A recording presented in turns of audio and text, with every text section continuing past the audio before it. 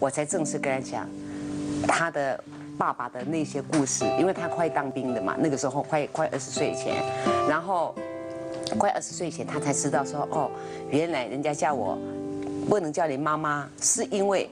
你是歌星，就是歌星妈妈一样的。我妈，我爸爸妈妈是那种年代的人，所以，我儿子从那个时候就开始叛逆，一直叛逆，到他当兵，然后当他到他前几年。所以我今天，今天谢谢给我这个机会哈，我要来问老师，我跟我儿子的一些问题。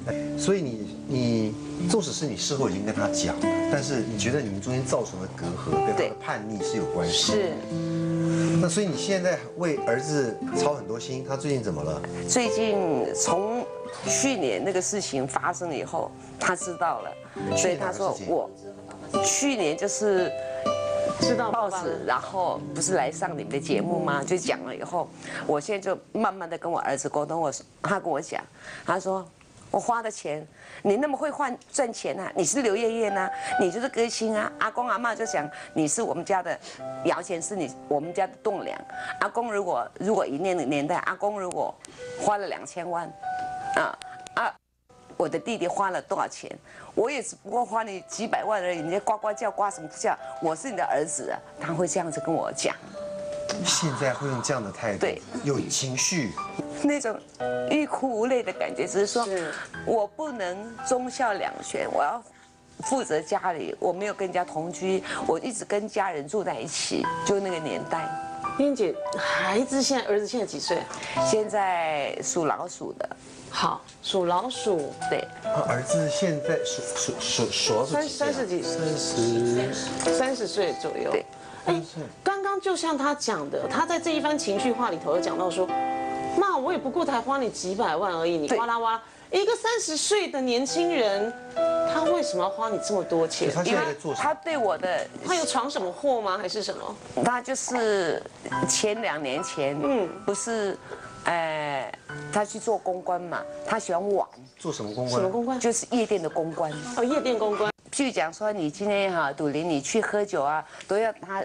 签签名啊，啊，才有很多很多咖，那一个一一次好几万呢，一次好几万呢。大家因为他，我去捧场去玩，对，可是变成那些那些账就算到儿子的头上了，对对，也收不到钱。对呀，对，在哪里可以收得到？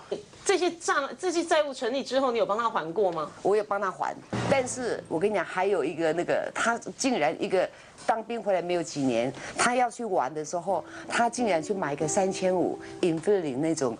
跑车三千五的两个门的那个一百多万呢，就这样子开，二十几岁哦。那是你给他的钱？哦，当然是我买的啊。妈妈最早是买，我说我买给他，那个马自达的零零零七的修理车，全新的。买个那么趴的车给他，才刚。他要啊。啊，我在想我弥补他，所以呢，就一直一直一直这样子。就只要他开口有需求，你就是满足只要是我能能够，因为事实上，好刚退伍，然后你买一个那么趴的车给他，帮他还掉了这个。他去酒店当公关的时候欠欠了一些账，你也还。那后来你把他拉回台中，希望他单纯一点。那他后来在台中有做什么工作吗？弄那个夹娃娃机的，嘿。就是一个一个不是赌博的那种。你你有大致算一下，你总共在儿子身上现在投资了多少钱？我不敢算的，我来想起来哈，我都讲暗时我还讲摸咧面前搁哭，因为我唱几世人，啊，都唱阮爸爸迄段，唱阮小弟一段，我甲我家己搁一个囝，我已经我甲天公伯啊讲天公伯，我是要搁唱偌久？我十二岁唱歌，到即卖已经三。四十诶，四十几要要五十档啊！你是要讲我唱偌久？我即嘛是还搁伫台中咧唱呢。我一个月嘛是搁唱偌济，唱入去以前爸爸什么人，啊，即嘛着囝，我要唱到何时才会出头天？还好，是是是，所以赶快来问问老师。那你儿子现在跟你的关系怎么样？现在关系就是比较接近一点，所以。老娘要有一点小钱，儿子呢会常常来问候你，他顺便呢就又不谈了，有比较乖一点。就是说，其实你常看我们节目，对于大家最常讨论星盘，其实你对于这个自己的时辰上面有点不是很确定，所以星盘的这个定盘也是我也我也不清搞不清楚，搞不清楚。来。所以燕姐只知道说自己是在十一点到一点出生，也就是子时嘛。嗯嗯。老师，十一点到一点，在西洋的星盘来说，它已经跨了好几个时辰。对。这一差差有点远，怎么抓？其实从晚上十一点哈到隔天一点，其实你有可能都是另外一天了呢。搞不好你的生日有可能是九月二十八号，他就跟我同一天。他也有可能是九月三十号呢。哈。那所以呢，你一看要定你的盘的时候，哈，是要从九月十二二十。八号的那个晚上开始定，定到九月二十九号一整天，还要定到九月三十号的凌晨。好，这一段时间。那但是呢，因为我刚刚在听你讲你的故事了哈，啊，我们一般来讲哈，星盘定时哈，这件事情非常非常的重要，就是包括我们的小孩子会怎么样啊，爸爸会怎么样啊，妈妈是会怎么样啊，然后我们会不会赚钱啊，然后事业是怎么样，这些都是从星盘上大家可以看到。可是，一般的人哈。你生日啊，差个十分钟、二十分钟哈，半个小时哈，不会差太多哦。可是你看流年的时候就差了。看流年的时候，比方说，哎，你如果差了，因为在星盘上面，比方说十五分钟差一度，差一度就差一年哦。所以你的时间呢，如果说呢，哎，差了。呃，半个小时差了两度，我在论婚期的时候可能会差两年，论你什么时候会红的时候可能会差两年，论你什么时候会生小孩可能会差两年，所以很多事情就会差好几年。是，他如果说呢一差差一个半小时的话，哇，那差的年数就更多了。所以定盘呢，它为的就是要让你我们可以掌握，哎，你大概在你的人生几岁，很精确的掌握到几岁哈的这一段时间。会发生什么事？而且这件事情对你来讲是好的，或者是坏的，让你可以趋吉避凶。是是是。所以定盘呢，它可以帮助我们判断流年。嗯。OK。那所以现在燕燕姐的盘大致上已经算定出来了。那我们从星盘上面也可以看得出来，燕姐最在意的就是她跟儿子之间的关系，对不对？目前。因为呢，呃，我从你的。爸爸，从你跟你兄弟的关系，然后从你跟你小孩之间的关系，哈，那其实我已经可以把你的出生时间，哈，从晚上十一点到一点这个区间，已经可以缩短到十一点到十一点半这个区间，好，就可以缩短半到这个这个半个小时之内。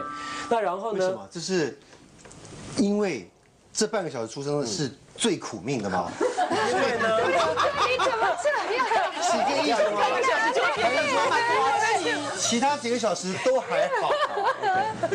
因为呢，十一点到十一点半出生哦，他的这个星盘呢，刚好他的父宫哈，就是代表爸爸的这个宫位，压力也比较大一点；代表兄弟的这个宫位，压力也比较大一点；然后代表。子女的这个宫位压力也比较大一点，就比较有克相了哈。所以呢，要不然我们就是把这个时间排在这个时候，这几个行星就会落在兄弟宫、父宫，那跟你的子女宫。他如果晚半个小时，这几颗行星移到其他的地方去了，就没有这个迹象了。哦，所以我们现在说，如果晚半个小时，你就嫁给赌王了，都没有可能。美，需要另一个哇，对呀，就是不一样了。三代的老师看小孩子是什么类型。型，然后看呢小孩子的爸爸是什么类型，然后看你爸爸，你跟你爸爸的关系，看你跟你的兄弟的关系，我们大致上就可以定在十一点到十一点半之间。那因为呢，呃，我对您有一点印象，但是呢，您之前出过什么唱片呢？拍过什么电影啊？老实讲，我不太记得了，所以我就去 Google，我就发现您出道出的很早。对，所以人跟我讲老一年。你六十七怎么讲靠腰啊？你十二岁就唱歌，我唱四十，等你个算地，你嘛知我几岁？我讲啊，我讲你两百讲讲八九十？我出道都早。所以呢，我们在星盘上用的是另外一种叫做太阳湖的论命法。好，我们就是在看你的生命当中有一颗这个冥王星哈，嗯，它就是在这个地方了。好，然后呢，我们常常有一句古话叫做这个天上。一天，人间一年，对不对？在星盘当中呢，一颗行星，一颗行星走一度，代表一年。所以呢，这颗行星呢，我们就是抓跟你的天敌，就是你的人生当中，你童年这段时间，你的人生出现的第一个非常非常重大的变化的那个时间，就是你十三岁那一年来做一个，然后做一个这个参考事件，然后我们就可以把你的出生时间精准的定在十一点零九分。好厉害，十一点零九分，十一点零九分，这样子改变我的才会符合哈，符合你的这个，符合你的这个出生的时间哈。我先跟您说哈，像你呢，你看你的星盘哈，你的上升呢，双子座，你是你的上升星座里面有木星跟月亮。老实讲哈，你这辈子呢，你来就是要。你的个性就是那种非常慷慨、非常大方，然后对身边的人呢非常豪气的那种个性的。对。所以呢，我跟你讲，你个性你改不了，好，除非你要变小气。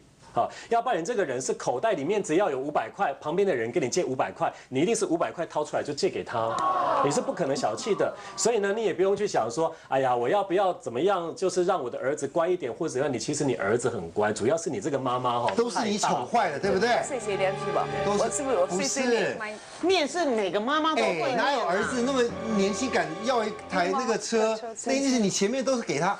儿子，我觉得也是有分寸，也是随口讲一下，没想到你就 OK，哇，那后面我没有那么离谱，是他已经定了，我想。这吼，这顶展后做了是？对呀，已经站落去啊，啊这出去啊，啊不出去啊，无紧给提倒回来，这都规规拢去了了，所以没有办法就买啦。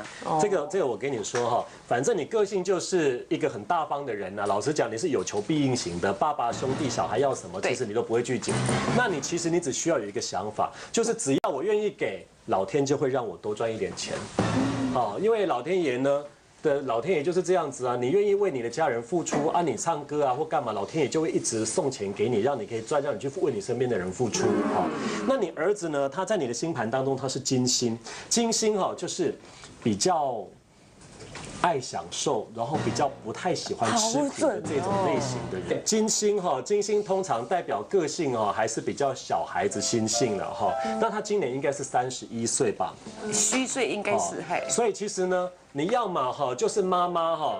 对他的这个管教要略略的稍微严格一点点，严格。那要么就是以后呢，他娶的妻子非常的重要，嗯，因为像这种个性上呢，就是不是那么认真的人，就看到他娶到什么老婆，他如果娶到一个比较稀花的，哇，那两个人就把你钱花光光。但是他如果娶到一个稍微比较顾家的一点点，所以呢，你对他在金钱上可以大方，但是你在他的婚事上哈，你一定要多花一点点心。意思就是说，你反正。爸爸、兄弟、儿子都是自己亲生的，你已经排不掉了。嗯，你现在要有一定的智慧，要帮他娶一个新一代年轻的刘艳艳回来。真的，真的，真的。继续唱。谢谢杜林弟弟，你真太帅了。你就是房贷三万，呃，贷一个在。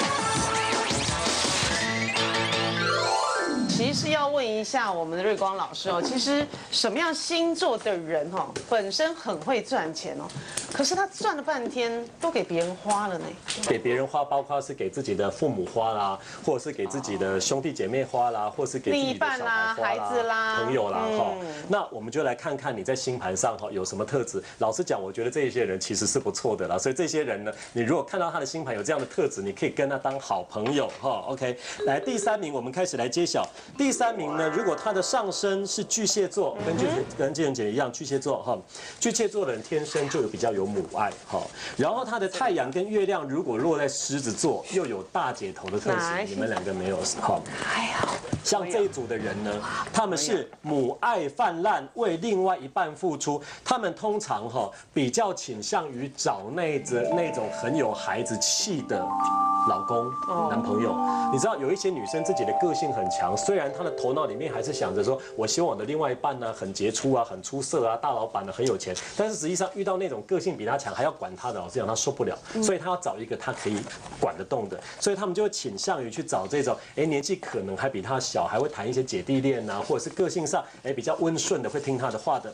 那她就会为她的另外一半付出很多，比方说帮她开公司啊，帮她操持家务啊，那然后呢在公司里。里面还帮他当会计啊，当董娘啊，哦，就是一定会把他的事业整个都弄起来哈。他，自己可能很节省，但是他所有的心思啊，所有的钱啊，全花在另外一半身上。像你以后你的儿子就要娶这个类型的。好，再来我们来看第二名呢，是他的上升如果是射手座哦，这一型哦非常非常的大方。可是他的太阳跟月亮如果落在水瓶座的话哈，水瓶座很爱交朋友。我告诉你这一型的人呢，天性慷慨大方，为朋友两肋插刀。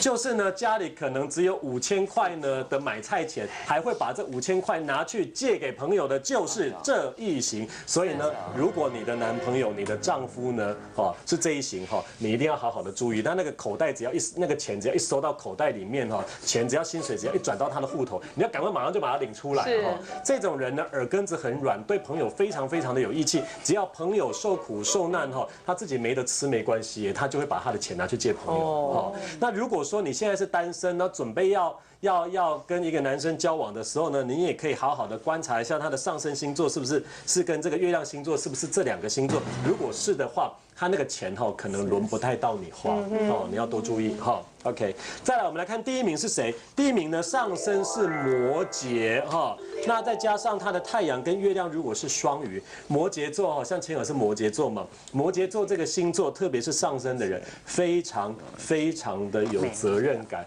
任何身边的家人呐、爸妈、兄弟、小孩啊，另外一半都是他的责任，都是他要管的范围。再加上他的月亮如果是双鱼座，哇，这个人简直跟圣母玛利亚没两样，他是责任心。超强，然后专门就是为家人牺牲、付出跟奉献呢，哈。所以呢，像选到这一型的人，在家里通常是无怨无悔付出的这个妈妈啦，或者是爸爸啦，哈。那然后呢，自己可能很节俭，但是钱都给对方花。就算到小孩子结婚了，然后生小孩了，都还会为小孩子承担很多的，哈。就这几个。这边问一下周云婷老师，老师，我们听燕燕姐的故事哦。其实这样的女人好像很多，对不对？背老爸爸的，背家人兄弟姐妹的，背老公的，背儿子的，还要再往下背的，对，这样的女人真很多，对不对？我们第一点有一种叫做为事大人，那个叫做，因为高债有一种叫做呢，看北部，然后儿女是债，但是其实有一种叫做欠父母债，还有是父母欠你的债，如果是。父母欠你的债，就是安怎呢？催寒的心一直给你铺，一给你给你给你请，而且又什么事情都舍不得你做，还有甚至于说你你你结婚了，他还要拿一笔钱，还要以后还要帮你准备以后你的遗产还要多少给你，还怕你得不到，还要跟你的儿子讲说这个女儿也要给他，就是一天到晚就是为了儿女在做，那个就是哎父母会去欠儿女债。那我们现在说的一种叫做，呃。儿女欠父母债，也有这样子的人哦，就是你要还父母债，就额头低窄，日夜角不闲。其实日夜角就在这个地方，其实这就是两个杠。哎，那个，哎，对对对，就是眉头在上面一点点，那个就看不到，就是蓝公公，摸摸摸淡薄啊，哭头不是那么上面，就是在额头，就是眉毛上面一点点这个地方。还有就是这个额头要有点低窄。这种女生哈，通常啊，从小啊，出席家境不好，家庭环境不好，那就是你从小可能就是要呃帮家里赚钱，有时候呢，就是你可能通常都是没有办法读到很受到很高的教育。如果说你能够受到很高的教育，以前都叫做半工半读，都要自己来。那现在当然没有什么所谓的半工半读，没有童工制度，那就变成怎么样呢？就是一定要。助学贷款，那助学贷款很多人都有啊，但是他所谓的助学贷款就是要自己还钱，就是出了社会以后要自己还，什么都要自己来，还有连出嫁以后还要就是要拿钱回去孝敬父母，还要再给他们每天每个月的你的薪水里面还要固定扣多少给自自己的父母，这个叫叫还父母债的人，通常就是这样子的一个联想的人。还有我们刚刚讲的哈，欠昂债哈，欠昂债。后的家仔都无给安，对，为老公操劳就大小眼哈，就是右眼有比左眼大。通常哦，我们都知道很多的女生都为家庭要辛苦操劳，在白天出去工作，晚上回家还要做做家事，这个通常就是大小眼的人。但是你要知道哦，没有大小眼的人很少，通常都是眼睛都会有一点点的大小。但是我们现在说的，如果你的右眼比左眼大，那就惨了。你就每天，你从从来，你只要结婚以后，你就显安了。我家是晚上回家，他就会安娜你旁边等我来煮饭，我来做菜给你吃。等一下，等一下，慢慢的等，我一定会把你整。还要到了桌上没什么都帮他准备好，饭还帮他盛好，那个是你显安。好，所以通常右眼比左眼大，就是因为他是宠宠老公。再来就是要不然就是你会嫁到一个肩不能担。手不能提，都是身体好像都很差，又谋生能力很弱，不太会赚钱，赚钱又很少。哦，还有一款哦，老公就是赚钱，他自己在外面花，不愿意拿回来，回家还要给你打碎一下，还要家暴你的，这个通常也是这样子的。所以这个是不是比刚刚的更惨？还有一款哦，好。就是为儿女辛苦的哈，就是你的眉毛通常会短一点点哈啊，还有就是泪堂这个地方深陷，这个人过早句话叫做醒低压早，性健不好。刚刚就在讲燕燕姐，其实应该讲说儿女儿孙自有儿孙福啦，莫为儿孙做马牛，所以他要开什么什么什么那么好的车，自己买，对不对？那你干嘛要？他说一句，你就帮他买。他这一次有求必应，下一次他就会再来。所以这个通常就是因为你的这个我们讲内坛深陷的人，通常对为了你的儿女们都什么都是有求必应，从小就是。送他上学，接他下学，便当要帮他准备好好的，什么都不会帮。他如果今天忘记把学校的功课带去，你还赶快哦，坐计程车把他送过去。你照顾到无微不至，让他很多很多的价值观都会错误。所以通常这里凹陷的人都会这样子宠孩子。所以你他就后来就是考试，妈，我问你考几分了？我今天为你考了几分？我今天为你做什么？他认为好的事情都是为你做，对呀，以前的画图啊什么的劳作啊，都是我在做，我做的一流的呢。你这样不行啊！啊，我想我要给给我的儿子是第一名啊。那结果小孩子的价值观不不一样了以后，他可能以后回来他不会回馈你。他不会认为孝顺你是应该的，他认为你为他做是应该，你都是老母，你都是爱对我做这么多，所以这个就是不对的哈。还有一种叫做灰自厌的，灰自厌，哎，易受朋友的拖累，就是你的那我们讲说这个财印，这个叫财印线里面有导纹。你只要有钱，你只要有钱就会被朋友骗。你有时候会因为钱跟朋友有一些纠纷，甚至给他修改地步。那这个通常就是因为你这一条我们讲理智线断断续续，或是甚至比较不明显，或是比较比较弯下来。这个通常通常我们讲说比较没有那么好的睿智，我们不要讲他不聪明，其实就是没有睿智，就是讲没金跳啦，你的钱都是被朋友骗走，你又拖累，所以变成说，哎，你的老公会觉得，你真是你有你比如得体。